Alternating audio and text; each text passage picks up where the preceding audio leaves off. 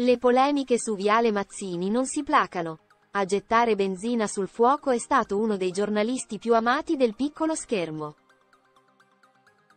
Nonostante sia stato una delle colonne portanti dei palinsesti RAI per tanti anni, l'intesa vera con i vertici dell'emittente non c'è mai stata. Ed è forse per questo motivo che si è arrivati ai titoli di coda, come è successo a numerosi altri protagonisti della rete. In una lunga intervista si è finalmente sfogato, provando a indagare sulle ragioni che hanno portato all'addio. Non ha risparmiato critiche anche dure all'azienda. La sua disamina è dettagliata.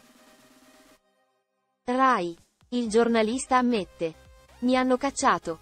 Uno dei volti più amati della televisione si è confessato a cuore aperto in una lunga intervista in Abruzzo. It. Fonte foto ANSA. Basti pensare che pur avendo partorito alcune delle trasmissioni storiche della RAI come Mixer e La Storia Siamo Noi, oltre ad aver gestito il debutto di Un posto al sole, alla fine non è riuscito più a trovare spazio. All'orizzonte, tra l'altro, non pare ci siano possibilità di ravvicinamenti o rappacificazioni. È lui stesso ad ammetterlo nel faccia a faccia concesso con la redazione di Fanpage. It, che lo ha raggiunto in occasione della cerimonia di consegna della cittadinanza onoraria da parte dell'amministrazione comunale di Napoli.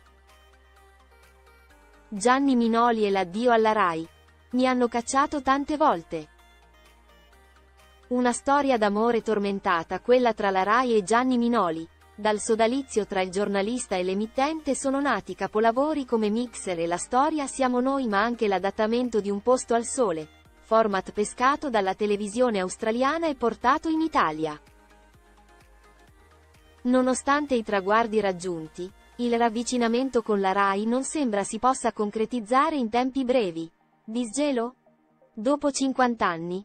Chiede Minoli parlando ai microfoni della redazione di Fanpage. It, raggiunto per un'intervista. Parlando dei contrasti e degli attriti con l'emittente ha poi ammesso, Assolutamente sì. Ci sono stati e mi hanno cacciato tante volte. Ma pensa che io i primi contrasti li ebbi con Celli, che allora era direttore generale della RAI e teoricamente un amico. E poi ancora.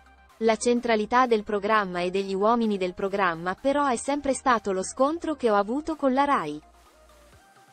Gli uomini di prodotto vengono fatti fuori perché spesso comandavano persone che passavano per strada e di tv non sapevano proprio nulla.